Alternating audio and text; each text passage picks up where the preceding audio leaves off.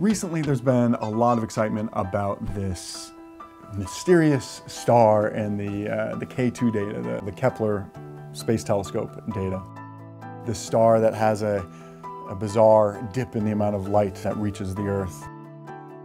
There is a chance that maybe the dip in the light is caused by an alien megastructure that's being constructed around this parent star. And that structure would then cause the light to dip as it orbits the parent star. Now this idea of giant alien megastructures uh, has been around for a long time. And basically the idea here is that if you're a growing civilization in a solar system, you want to capture all of the energy from your parent star.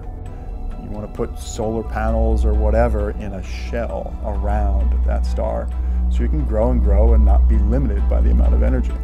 And so there are some out there that are speculating that maybe what we're seeing is one of these advanced civilizations in the process of building up this shell, and the dips that we're seeing correspond to that shell rotating in and out of our view. Now, this is a far out and, and extraordinary hypothesis, but it's something we can't quite rule out yet.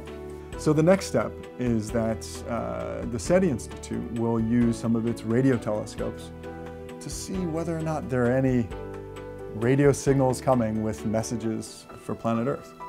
I'm skeptical and I say probably not, but the little kid in me sure hopes it is what's going on.